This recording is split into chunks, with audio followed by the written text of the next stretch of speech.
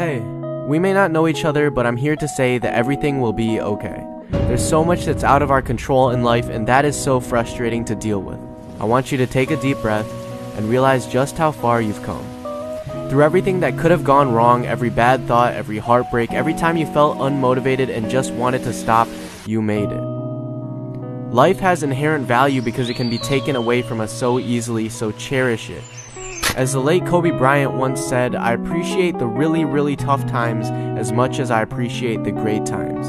Life may beat you to your knees, but it's in those moments that you become who you truly are. Don't let your bad times impact your future because your future has unlimited potential. We don't know why we are here, but I know that it's special.